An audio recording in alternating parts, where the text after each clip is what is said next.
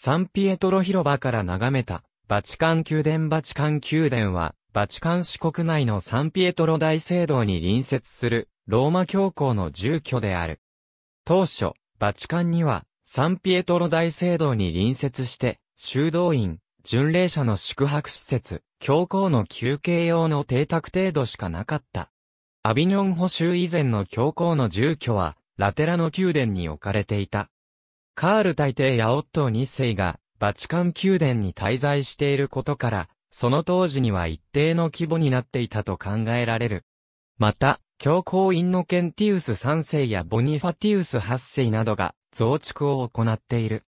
アビニョン保守の後、バチカン宮殿は教皇の住居になったによる建物が現存しているという。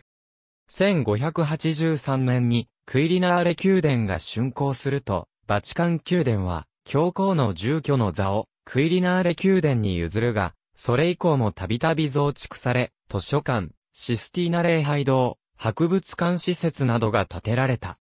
博物館を一般に公開するようになるのは18世紀中期以降で、展示内容、施設は徐々に充実されていった。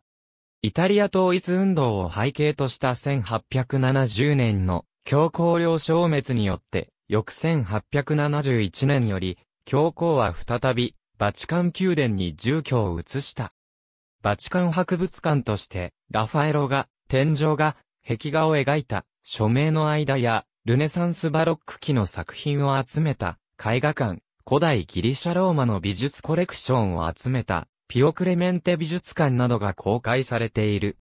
現在、教皇の住居になっているのは、16世紀のシクストゥス5世による建物、また、教皇が謁見を行う広間は20世紀に建てられたものである。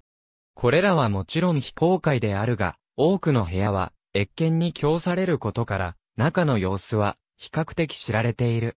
謁見の間には、ペリクレ・ファッチーニが制作した彫刻、キリストの復活があり、その制作には、ファッチーニの助手のクイタニヒト東も参加した。なお2013年に就任したフランシスコは、大聖堂の南西にあるサンマルタ館に居住しており、東急電は外国首脳との越見といった公務用途のみで利用している。ありがとうございます。